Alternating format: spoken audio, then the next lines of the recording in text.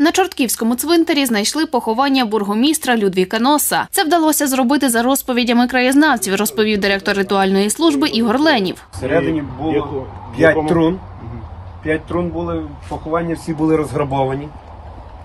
Зробили огляд, всі труни пови- поставили на місце і зробили там порядок, тому що було дуже сильно захаращено. Скелети, які знайшли всередині, можуть належати родині Людвіка Носа, каже Ігор Ленів. За його словами, їх планують перепоховати, а гробницю відновлять. Проводимо роботи, маємо фотографії, які були колись я зробив ще раніше, і воно приблизно буде той самий вигляд мати, як воно було в первісному виді.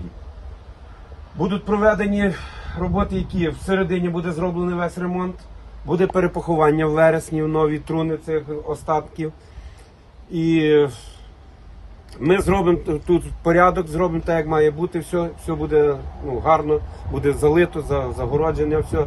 Істориків нікого ми не залучаємо. І, і кошти виділяє міська рада, і кошти, які ми заробляємо самостійно.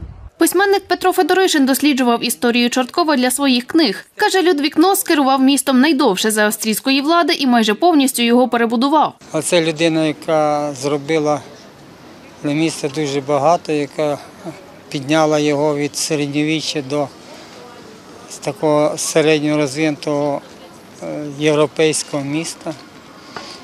Бурмістр, який е, збудував і провів від каналізації до водогодів, від е, телефонів, телеграфу, судових приміщень двірця залізничного. Одним словом, дуже багато зроблено із е, таких суспільно значимих, громадсько значимих будов, які дуже доклався багато для розвитку шкільництва, освіти, який протримався при австрійській владі найбільше на цій посаді. Ніхто із бурмістрів стільки не керував у місті десь з 88-го року по 1913 рік. Це 25 років до того він 4 роки ще був казначеєм, маючи 24 роки.